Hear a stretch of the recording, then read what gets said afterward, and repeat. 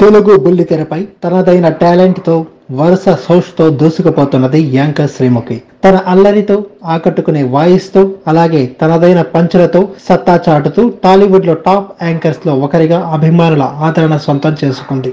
ఓవైపు తన యాంకరింగ్తో అదరగొడుతూనే మరోవైపు సినిమాల్లోనూ నటిస్తూ కేక పెట్టిస్తోంది. అదుర్స్ అనే కార్యక్రమంతో బుల్లితెరపై తన ప్రస్థానం మొదలుపెట్టిన శ్రీముఖి తన టైమింగ్ పంచులతో యూత్కి దగ్గరైంది. అలాగే సినిమాల్లోనూ మెప్పించింది. రెండు వేల పన్నెండులో త్రివిక్రమ్ దర్శకత్వంలో అల్లు అర్జున్ హీరోగా తెరకెక్కిన జులాయి సినిమాతో టాలీవుడ్ తెరంగట్రం చేసింది శ్రీముఖి. ఆ తర్వాత ఇష్క్ కాదల్ మూవీలో లీడ్ యాక్ట్రెస్ గాను నటించింది. అలాగే నేను శైలజ సినిమాలో రామ్ చెల్లెల పాత్రలో నటించిన Sreemukhi Sekhar Kammula life is beautiful చిత్రంతో మంచి గుర్తింపు తెచ్చుకుంది. ఇక ఇటీవల ఈ అమ్మడు గ్లామర్ డోస్ సైతం పెంచేసింది. తన ఫాలోవర్స్ని నెటిజన్స్ని గ్లామరస్ ఫొటోస్తో కీరెక్కిస్తుంది ఇక ఈ అమ్మడికి సంబంధించిన వార్త ఒకటి ఇప్పుడు నెట్టింట వైరల్ అవుతుంది. ఆమె పెళ్ళి గురించి న్యూస్ వైరల్గా మారింది.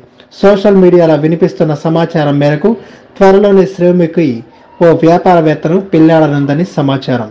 ఇంతకు ముందు కూడా శ్రీముఖి పెళ్ళికి సంబంధించిన వార్తలు చాలానే వినిపించాయి. కానీ ఈసారి మాత్రం శ్రీముఖి మ్యారేజ్ న్యూస్ గట్టిగానే వైరల్ అవుతుంది. కొంతకాలంగా శ్రీముఖి ఓ వ్యాపారవేత్తతో ప్రేమలో ఉందని ఇరు కుటుంబాలకు చెందిన కుటుంబ సభ్యులు కూడా వారి పెళ్ళికి గ్రీన్ సిగ్నల్ ఇచ్చేశారని అంటున్నారు. రీసెంట్ గానే ఇటు శ్రీముఖి అటు ఆమెకు కాబోయే వరుడికి సంబంధించిన ఫ్యామిలీలు కలుసుకొని మాట్లాడుకున్నారని ఇక ప్రట ఇక ప్రకటన మాత్రమే రావాల్సి ఉందని అంటున్నారు. ఈ ఏడాది సమ్మర్లో ఆమె పెళ్ళి చేసుకోబోతుందని చెబుతున్నారు. మరి ఇందులో వాస్తవం ఎంత? సామాజిక మాధ్యమాల్లో యాక్టివ్గా ఉండే శ్రీముఖి దీనిపై ఎలాంటి క్లారిటీ ఇస్తుంది అనేది చూడాలి.